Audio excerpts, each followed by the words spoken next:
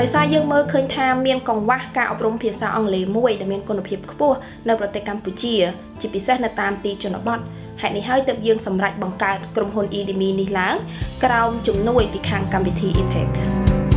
EDMI បានចូលរួមចំណែកនៅក្នុងការអភិវឌ្ឍវិស័យអប់រំនៅប្រទេសកម្ពុជានឹងតាមពីរផ្នែកទី1គឺយើងចាប់ផ្ដើម introduce នៅវិធីសាស្ត្របង្រៀនថ្មីដែលគេហៅថា blended learning methodology ហ្នឹងគឺបានន័យថាសិស្សគាត់អត់រៀនជាមួយគ្រូសុទ្ធទេហើយគាត់ក៏អត់រៀនជាមួយនឹងបច្ចេកវិទ្យា online សុទ្ធដែរគឺយើងមាន combination របស់ទាំងពីរហ្នឹងទី2គឺយើងពង្រឹងគុណភាពគ្រូបង្រៀននៅតាមទីជនបទដោយសារគ្រូដែល EDMI ធ្វើការជាមួយគឺគាត់សិតតែមានទទួលបាននៅការហ្វឹកហ្វឺនជាមួយនឹង EDMI តាក់ទងជាមួយនឹងវិធីសាស្ត្របង្រៀនថ្មីថ្មីការប្រើប្រាស់បច្ចេកវិទ្យាក្នុងការបង្រៀនជាដើម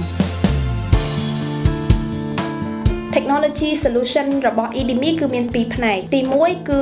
local server យើងប្រើឧបករណ៍មួយគេហៅថា Raspberry Pi បច្ចេកវិទ្យាមួយទៀតដែលយើងប្រើគឺ tablet អញ្ចឹងនៅតាមសាលារបស់យើងហ្នឹងយើងបំពាក់ Raspberry Pi ហ្នឹងមួយហើយនឹង tablet ហ្នឹង30គ្រឿងយើងបានសរសេរជា software ដែលនៅក្នុង software ហ្នឹងសិស្សគឺគាត់អាចមើលវីដេអូបានគាត់អាចធ្វើ quiz គាត់អាចធ្វើ practice មួយចំនួនហ្នឹងហើយបាន result ចេញមកភ្លាមភ្លាមដូចយើងរៀននៅក្នុង online អញ្ចឹង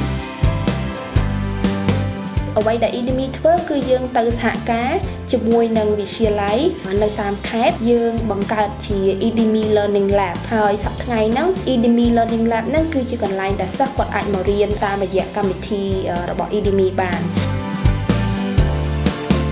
Edemy សប្បាយចិត្តនៅពេលដែលយើងឃើញថា កម្មវិធីសិក្សាដែលយើងដាក់ទៅហ្នឹងវា make impact ទៅលើសិស្សរបស់យើងឧទាហរណ៍យើងមានសិស្សម្នាក់គាត់អាយុខ្ទង់16ឆ្នាំតែគាត់ទៅតែរៀនថ្នាក់ទី10ទេ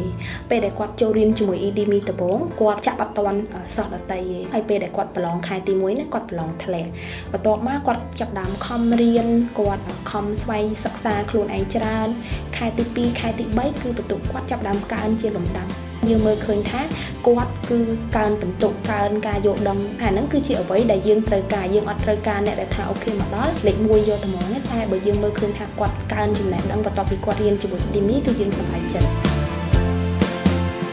ជំហានបន្ទាប់របស់ Edemy គឺយើងចង់ឲ្យសិស្សនៅទូទាំងប្រទេសកម្ពុជាគាត់ទទួលបានការអប់រំភាសាអង់គ្លេសមួយដែលមានគុណភាពយើងគម្រោងថាក្នុងរយៈពេល5ឆ្នាំយើងចង់បានធ្វើយ៉ាងណាគឺយើងពង្រីកឲ្យបានសិស្ស ខ្ទង់10000នាក់ហើយតាមរយៈគ្រូដែលនៅតាមខេត្តហ្នឹងប្រហែលជាខ្ទង់100នាក់